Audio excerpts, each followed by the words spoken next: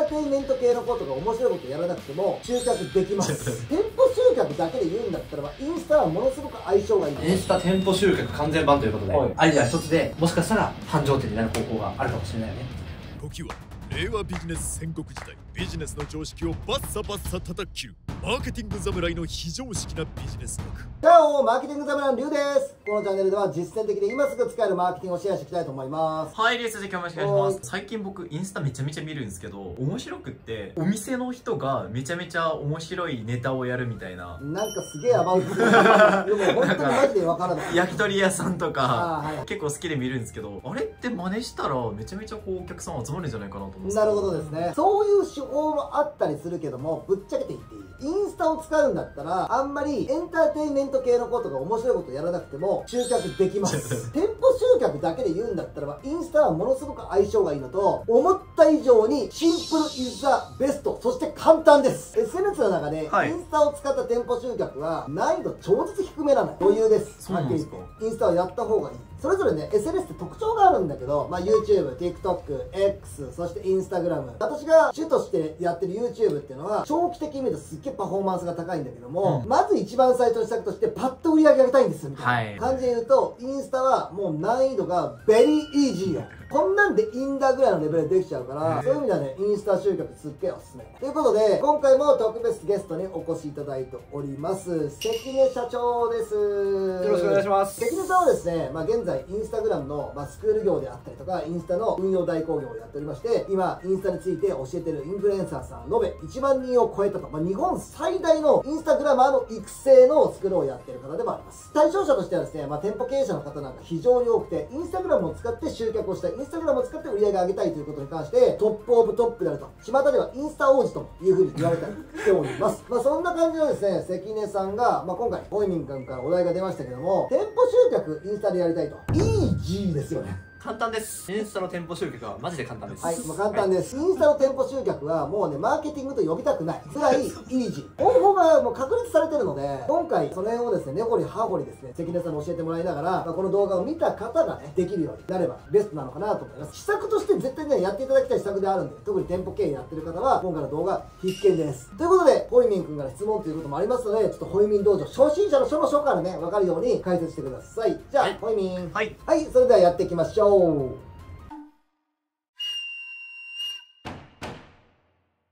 じゃあやっていこうと思うんですけど、はい。今日の内容はインスタ店舗集客完全版ということで、はい、僕ずっと気になってるんですけどインスタの伸ばし方とかインスタからマネタイズまでとかっていろいろ教えてくださってると思うんですけど、店舗集客変わってくるんですか？変わってきます。だってもう商品が違うんで。経過店舗化でインスタの動かし方とかやれることも結構変わってくるんですよ。店舗しかやれないことも逆に今回はいろいろ話そうと思ってるんですけどね、はい。店舗だからこそできることとかもたくさんあるので要はインスタ見てお店来ましたっていう人を増やそうっていう施策をたくさん喋っていこうかなと今日は思いますので、まあ、打倒ホットペッパー目指して。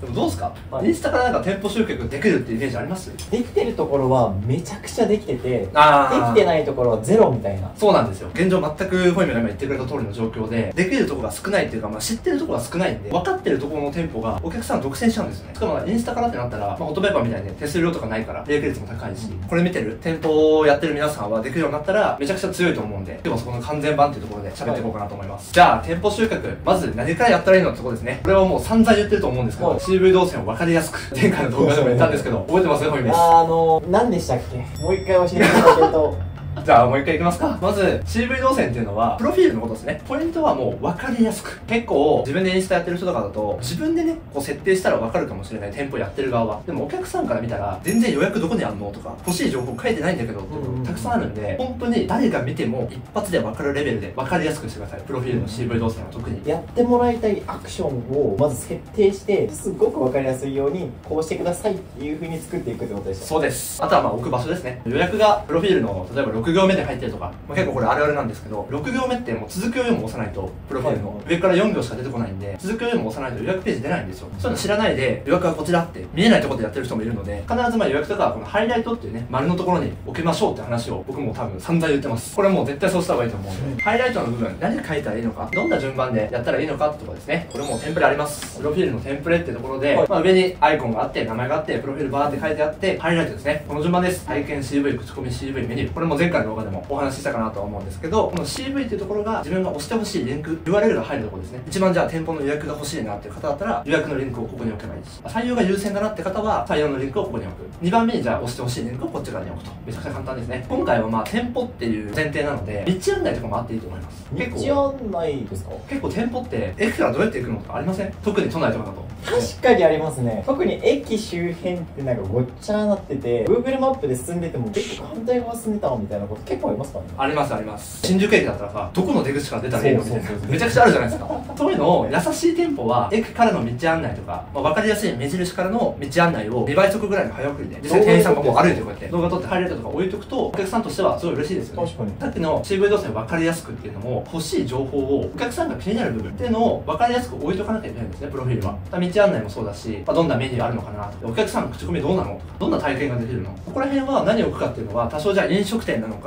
美容室なのかサロンなのかバーなのかで変わってくると思うんでここは例えばホットペッパーの情報とかってお客さんが欲しいものしかないんですよ基本。だそこを自分の業種に合わせて他のホットペッパーのサイトとか、はい。Google のサイトとか見て書いてあるようなことは基本もうハイライトに置いといた方がいいと思う。一番分かりやすいですね。CV 動線も分かりやすくっていうのはもう必ず最初に全員でやってほしいです。このプラス道案内ってどこに置いたらいいですか？これはなんか1個不要だなって思う場所があったら入れ替えたっていいし、まあ、CV は1個しかないんだったら2つ置かないで入れ替えてもいいし、まあ、6個目にしても別に大丈夫です。10個以上とか。多すぎると人って迷ってリンク開いてくれなくなっちゃうよって話をしたと思うんですけど、まあ、6個ぐらいだったら全然許容範囲なんで、まあ、ここも分かりやすく整理していただけたらなと。プロフィールに関してもう1個ポイントとしては権威性の出し方ですね。簡単に言うとうちの店舗すごいだろってことです。すごいねって。すごいぜっていう要素。ここを、まあ、結構繁盛してるお店とかだったらいろいろかけることあると思うんですよ。例えばどんな感じの？例えば月間1000人が来店するとかね、お店のキャパにもよるけど、何万人が通ったとか、何食売れたとか、ちょっと分かりやすいのを書ける人はもう書いてください、必ず。何が反応良かったりします？人気が分かるものが一番やっぱ受けとしてはいいです。やっぱ人って人気があるものに集まるんで、それを書けるのは一番なんですけど、みんなそうではないと思うんですね。これから店舗やる人とか、まあやったばっかですっていう人が、そっちの方がどっちかというと多いと思うので、そういう人でも書ける権威性の出し方っていうのがあるんですよ。知りたいですこれ例えばもうちょっと言い回しを変えちゃう例えば月間1トンお肉を提供するとかそういう数字にしたらちょっとすごそうに見えません確かに。めっちゃすごそう。しかもなんか新鮮だった今。こういう意味でね前回焼肉やりたいって言ってたから、はい。お肉で考えてきたんですけど1トンってなんかすごそうに見えるけど実際お肉屋さんって多分そんぐらい仕入れてるとこあると思うまあお客さんに出してるのはね 300g とかかもしれないけどその裏で油落としたりとかやるじゃないですか。あなんだかんだこんぐらい仕入れてる人もいると思うんですよ。ここを自分のお店だったらちょっと何キロとかちょっと一般の人から見たら分かりづらい業界人しか知らないようなすごそうに見える数字に置き換えるだけで権威性って出てくるんで。確かに業界人だったら別にそれ普通じゃね、っていうことも一般人からしてめちゃめちゃすごいことってありますもんね。そういう風に見えるわけです、だからそこの同業者から見たらえそんなの普通じゃんっていう内容で全然いいんで。だって別に同業者がターゲットじゃない。あ一般の人が見たらすごそうに見えるような内容っていうのはおそらく誰でも書けるはずなんですよね。だからここもアイデア一つでこういう見せ方ができるんで必ず書いておきましょうと。で今話した内容は、まあ、あくまで今回のメインじゃないもう準備段階。必ずこれはやっといてっていう内容です。ここまではまだステップゼロみたいなことですステップゼロですまだ。やっとかなきゃダメだよねっていう内容なんでむしろここからが本番ですねおう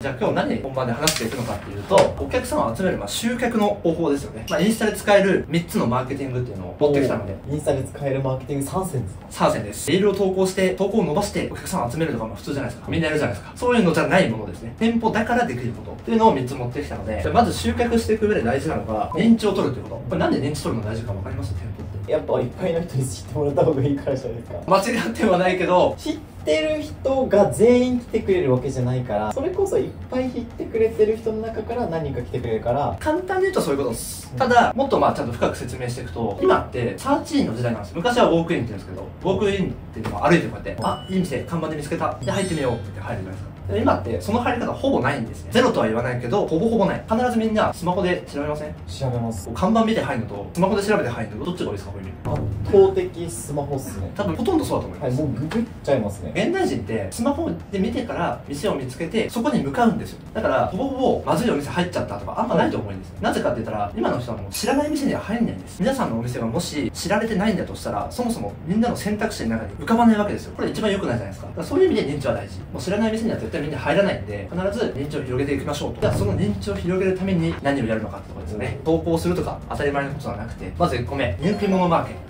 今のマーケって何だと思います これインフルエンサー使うんですか？使わないですえ？違うんですか？インフルエンサーにお願いするなんてもう普通なことはしません。インフルエンサーにお願いするなんて、お金払えば誰だってできますよ。お金積めば。これはね、わざわざね、この動画で喋る意味もないかな。できる人はね、やった方がいいんですけど、まあ、今日喋る内容はこれじゃない。インフルエンサーまではいかないけど、友達の多い一般人の人ですね。友達の多い一般人学校でいませんでした？僕の高校とかだと、普通の一般人だけど、フォロワー500年、1000人ぐらいいる人がいたんですよ。友達500人ってすごくないですか？めっちゃ。すごいめっちゃ多いですよね。はい多分今の子たちだったら確かに全然いると思う。僕の時あの、インスタダウンロードしてない学生もいたぐらいなんで、狙っていくのは、はいインフルエンサーじゃなくて、ちょっと友達が多い一般の人です。その人たちにアプローチできたらいいんだろうなっていうのは分かるんですけど、はいどうやってアプローチするんですか？皆さんが例えばインスタのアカウントやってるんだったら自分で、いいねしてくれる一般の方いると思うんですよね、うん投稿に。その人のアカウントを覗きに行ってみてください。で一般人だったら一般人っぽいもんアカウントなんで、ここで飲んだとか、見たらわかるんで、その人がフォローしてる欄、フォロー欄があると思う。その人がフォローしてるアカウントの一覧をちょっと見ていくんですよね。そうすると、あれ ?500 人ぐらいフォロワーいるじゃんっていう一般の方とかもいるので、500からできれば1000人ぐらいで嬉しい。そういう子にちょっと特別感出して10%オフするので、お店にモニターとして来てくれませんか ?DM 送ります。友達何人か連れて遊びに来てくれませんか？インフルエンサーとかね、そういうもん DM 慣れてるんで、なんだよ、10%オフかよとか、金もらえないのかよって断られることはほとんどなんですけど、まあ、一般の方なんで、ちょっとお得感出すと結構来てくれるんですよ。大体100人 DM 送って、はいまあ、3から5人ぐらい。数打ち当たるみたいな感じですかねでもこれ3%、5%って結構高いですから。確かに DM なんて0円なんでっていうところに宣伝してもらう代わりにちょっと特典つけてあげて DM を月間まあ300ぐらい送るんですね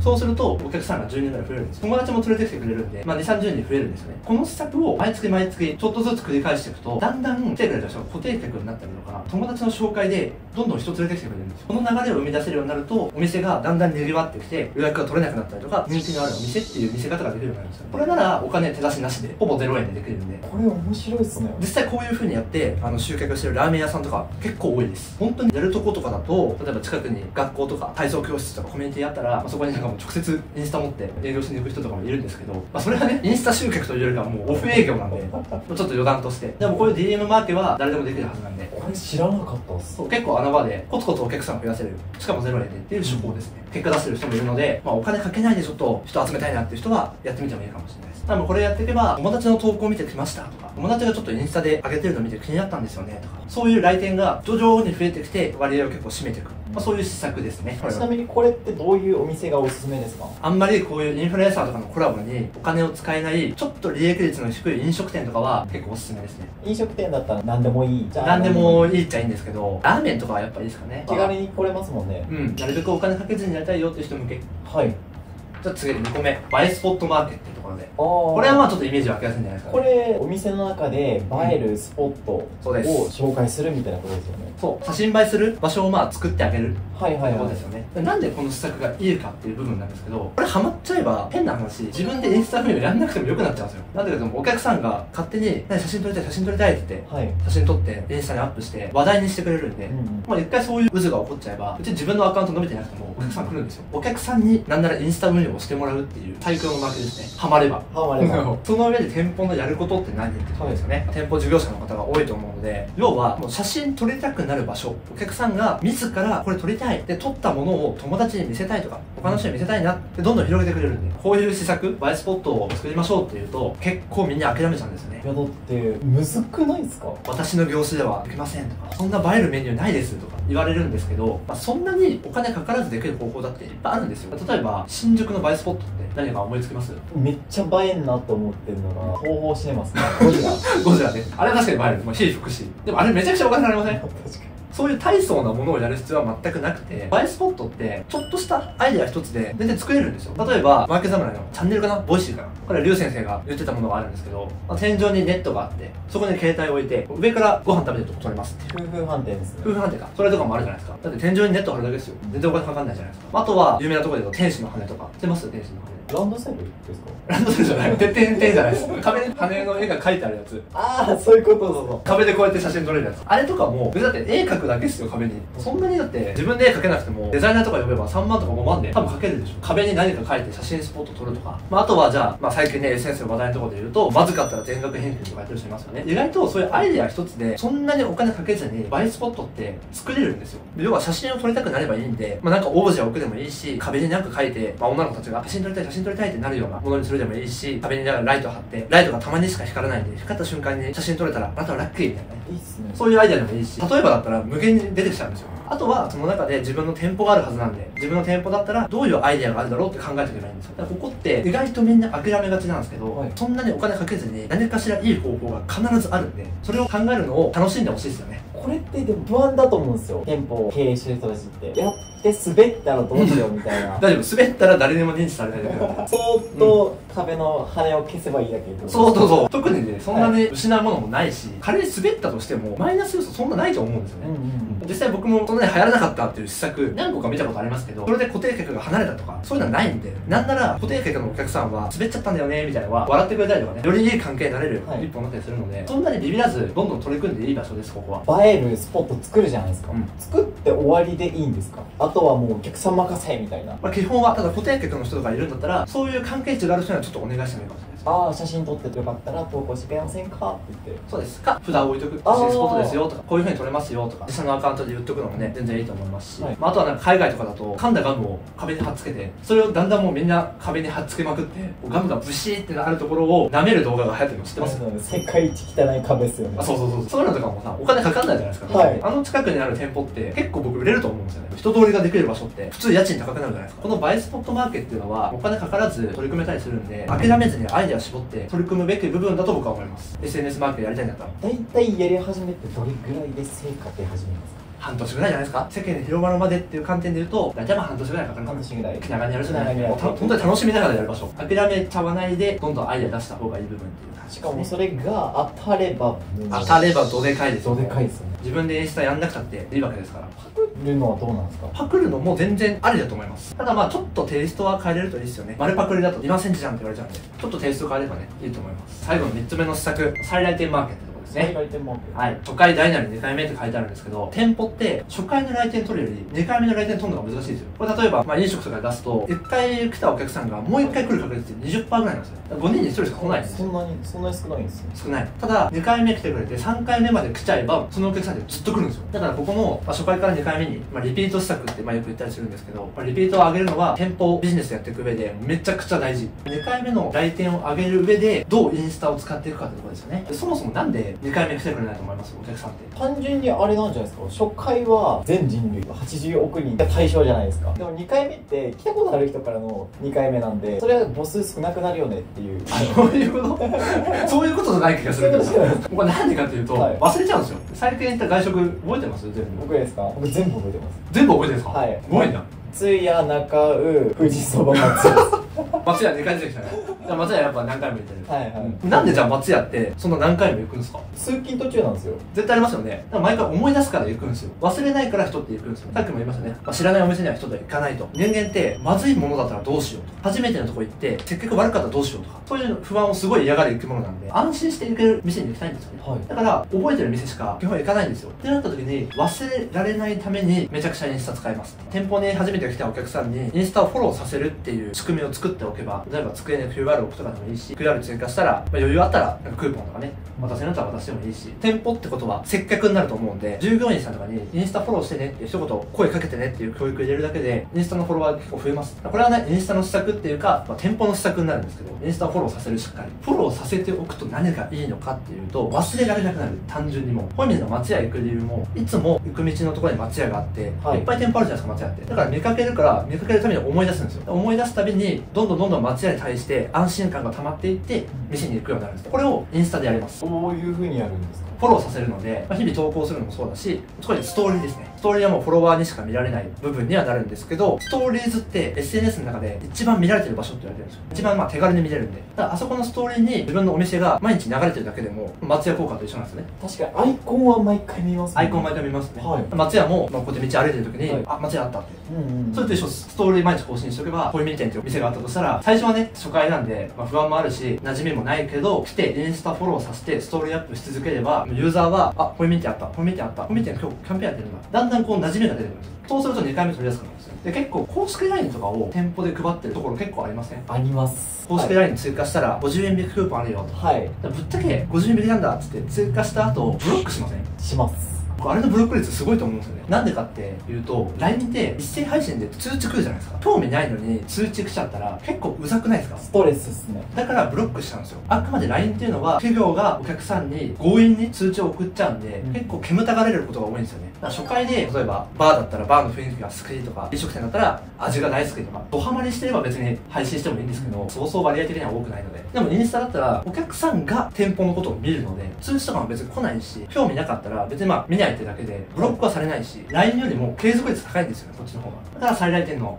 確率がかなり高くなると、まあ、どっちも合わせられたらベストなんですけどまずはインスタをフォローさせるってことをしておくとかなり最大点の確率っていうのも上がってきます。前も話してくださったかと思うんですけど毎日ストーリーを配信するうんうん。ってなかなかきついんじゃないかなと思うんですけど。全然きつくないですよ。ストーリーってなんかデザインとか一切いらないんですよ。例えばまあじゃあここだとしたら「保育園が今日も頑張ってます」っていうストーリーだけでも別にいいんですよ。従業員が頑張ってますとか。でうちの店舗は朝は掃除から始まりますとか。こんなんもう10秒で撮れるんで、まあ、本当に投稿時間が3分ぐらいで終わるんでストーリーってそもそも24時間で消えちゃうのでそんなにデザイン凝らなくていいんですね。何とってもいいんですか？何とってもいいです。だって一般ユーザーのストーリーズって友達ばっかフォローしてるんで友達がじゃあそんななんかいいものあげようって撮ります？取らないです。編集もしないし文字もなんか適当に書くしその中に紛れ込むのがベストなんでむしろ編集はそんなしなくていいじゃあ自然体のまま。自然体で。店舗に興味ある人しか開かないんで全然もうなんか自然体で大丈夫です。ただ上げとくっていうのは大事ですね。接触回数を増やすために。初回来てくれた人にインスタフォローしてもらう。その後じゃあストーリーを見てどんどんどんどん自分の店舗の接触回数を増やすことで2回目は取りやすくなる、まあ、LINE とかよりも多分再現性は高いと思いますじゃああと来店の流れでもう一個まあ豆知識じゃないけど最近の話があるんですけど僕の友達がカフェやってるんですよ。カフェのインスタアカウントもちろん運用してるんですけどお客さんからの予約を DM で受け付けてるっぽいんですよね。DM で予約って送ったらフォーマットが自動で返信されるんですよね。お名前電話番号希望の時間帯みたいな。まあ、送ってほしい情報が予約っていうキーワードに対して自動で送信されるように iStep とかメニューチャットを使って組んでるんですよ。あチャットボットみたいなのあとチャットボットみたいな。最近の特に若い20代の女性とかは DM で予約できる店舗は受けてると思われるらしいです。予約ページがあるんだったらハイライトに置いといてもいいんじゃないっていうのもあるんですけどどうやら最近の10代の高校生の子とか大学生の特に女の子とかは DM でそのままカフェとか予約できるとすごい楽というか URL 踏むのめんどくさっていう時代が来てるらしいんですよね。ハイライトはもうおじさんおばさんの使うものだ押いやそこまで。ではないんですけど。全然そこまでない。すいませんすごいすごい極端な例えがしましたけど。リンク踏むのがめんどくさいっていうのがどうやら今の10代後半の感覚らしい。それ系で僕もねなんだかんだ年重ねてんだなって。最新というかもしまあこの動画見てる人の中にうちのお店は10代の高校生が多いとか大学生ばっかりってお店がいたらもしかしたら DM で予約を取ってあげる流れっていうのを検討してもいいかもしれないですよね。めちゃくちゃ多分お客さんがしたら喜ばれるかもしれない、はい。でもお店の管理は超めんどくさい DM で送られてきたものを手入力かなんかでこっちに入力するってことねそうですね、友達のカフェはそれやってました。めっちゃめんどくさいって言われてたんですけど、めんどくさいんだけど、お客さんが喜ぶからやってるって。結構ね、何店舗もグループであるような、グループ店とかだったら、これ絶対やんない方がいいんです。ちゃんとハイライト置いて、予約があるんだったら予約リンク置いてもらって、ちゃんとデータ管理した方が、結局売り上げも良くなると思うんですね。ただ、自分のお店だけ、趣味でやってますとか、まあ、1店舗しかやるつもりありませんって人は、もしかしたら DM 予約を採用した方が、お客さんからしたら楽だし、最新だねって言われるかも。古典的なイメージで意外と好まれるらしいんですよね。こういうのでも DM から予約したことある。インスタも DM はないんですけど LINE ではありますね。どこですか？美容室とかだとああ美容室多いですよね。確かに美容室 LINE で予約するとかもあると思うし、はい。まあ、美容室インスタントとかも多いですよね。僕もよく行くバーとかはインスタでそのまま DM で予約したりします。今空いてますって DM で聞い。て空いてるよって書いてきてじゃあ何時何時行きます？みたいな。そのぐらい業種によってはフランクな予約の仕方っていうのが最近はやっぱ好まれてるらしいですね。お店が面倒くさくなければ全然 OK、まあ、ちょっとそういう小話も挟んで最後じゃあまとめにいこうかなと思うんですけど、今日紹介した3つの集客の極意っていうところで、はい。まず人気者マーケですね。で2つ目バイスポットマーケ3つ目最大店マーケこれ3つともほぼお金かけずにできるの気づきました？僕でもできそうだなと思って聞いてでも絶て対誰でもできるんですよ、こはい。のマーケだったら。インフルエンサーに頼むとかはね、簡単なんですけど、そうじゃなくても、お客さんを増やすっていう目的がまあ達成できればいいわけじゃないですか。い。くらでもやっぱ、SNS ってお金かけずにやれたりとか、はい。お金かけれるのがもちろんベストなんですけどね。ただ、かけなくてもやりようがいろいろあると思うんで、アイデア一つでもしかしたら繁盛店になる方法があるかもしれないよね。なので、SNS、まあ、特にね、インスタで集客したい。だけど、できないってことは、ほぼほぼないはずなんですね。誰でもお金かけずにできるし、皆さんの業種ね、動画越しだとわかんないですけど、アイデア一つで、まあ、映えスポットを作ったりとか、再来店のためにインスタ使ってったりとか、いろいろやれることはあるんで、ぜひこの動画を見た人は、行動に移してやってみてほしいなと思います。というわけで今回はですね、ムを使った店舗集客の完全版ということでお送りさせていただきました。かなりもうほんと初歩の初からできる内容がいろいろ皆さんあったんじゃないでしょうか。今回、まあ、ここまで見ていただいた方、せっかくだからね、動画をただ見るだけじゃなくて実践をしていただきたいので、インスタ王子、はいなんか皆さんにプレゼントないですか？どうしようか？な見てもらった方にですよ。プレゼントできるマニュアルが欲しい。マニュアルですねうん、スマタだと2、30万で売られてるようなマニュアルなんかないですか？ありますえ、あるの？これを見てるのはね、中小企業や、これから頑張っていこうっていう社長さんたちが見てますんで、どうせそのスクールお高いんでしょ？安くはないですね。はい、安くはない。スクールで出してる情報をちょっと全部暴露してくださいよ、せっかくなんで。ということで、インスタ王子がいろいろとやりまくってるスクールで教えてるような内容、店舗集客の仕方のマニュアルを皆さんにプレゼントするということで、そちらはですね、このマーケティング侍の概要欄にあるマーケティング侍公式 LINE に登録していただければですね、このような形で補足資料っていうのがありますんで、そこからダウンロードができるようになっております。今回はね、まあ、インスタグラムの店舗集客のマニュアルだけではなくてですね、マーケティング大百科というですね、100ページを超えるマーケティングの初心者、中級者、上級者までがわかるマニュアルと、100種類を超えるマーケティングのテンプレート補足資料も同時にね、手に入れることができますんで、ぜひ概要欄からマーケティングゼロの公式 LINE 登録してみてください。というわけで今回はですね、店舗集客完全版ということで、もうインスタグラム編、もうこれはかなり面白い動画だったんじゃないでしょうか。この動画がいいなと思った方はね、チャンネル登録と高評価、そしてシェアの方もよろしくお願いします。それではまた次回の動画でお会いしましょう。またねー。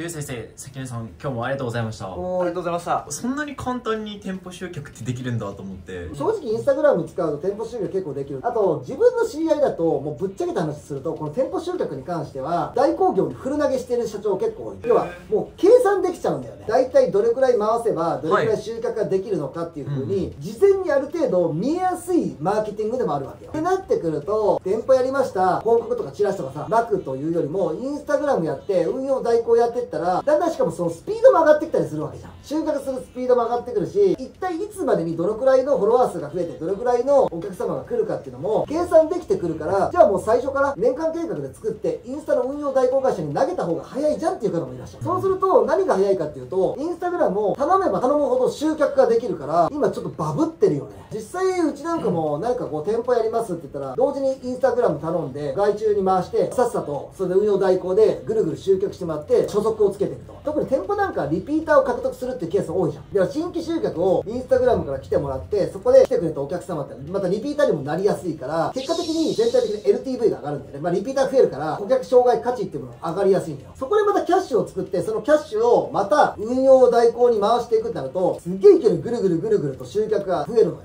店舗だったら面倒くさい人は頼んじゃってもいいかもしれないけどね。関根さんとかもやってますもんね一応運用に関しては。そうですね。だから特になんか店舗だと美容系の店舗？サロンさんとか美容室とか歯の矯正とかそういう店舗さんとかは店舗作る前にインスタ始めたいです人は結構多いです。でも仕込みの段階でしょ？あそうです。はい。一番最初にもうこれから作る店舗とかあってそれを逆算して最初に用意しておくと。そうですね。もう立った時にはもうお客さんが入るっていう状態にしておきたいから先にインスタ回しておきたい方が結構多いですね。でも私もそっち派なんですけどすでに店舗がある場合だったらどうしたらいい？すでに店舗がある場合でも例えばなんか集客がホットペッパーに足りる系ですとか他の手数料抜かれちゃうところで集客してますって人は自社の場合では伸ばしていきましょう。伸ばしていきたいっていうところでインスタをやってくださいって言われることが結構多いです。やっぱインスタの店舗集客はイージーやね。これは。なんか関根さんに頼みたい人もまあいると思うんですけど私の知り合いでも結構頼んでてかなり伸びまくってるんです関根さんに関して言うと。そういう頼みたい人に関しては問い合わせか何かさせればいいですかね？そうですね。フォームから会社の概要とか応募していただければ、まあ、僕が直接面談をして運用するかどうか決めていくって形ですかねということなので、あの実際本当に関根さんのところで運用代行頼んでる方は、本当にちゃんと集客できて伸びていってるっていう背景があるんで、まあこのね、アフターシーンまで見てくれた方に関しては、ぜひね、まあ、関根さんに問い合わせをして、運用代行頼むっていう選択肢もありなのかなと思っております。そちらも概要欄の方にですね、関根さんへの問い合わせフォームっていうのを掲載しておきますんで、よかったらね、質問であったりとか、はい自分たちの場合どうなんだろうかっていうね、えーことを問い合わせしていただいたらいいかなというふうに思っております。そしたらホイミン店とか作ってインスタやっていったらお客さん集まりますねいやもうそれ逆に商標でやばいかもしれないですね。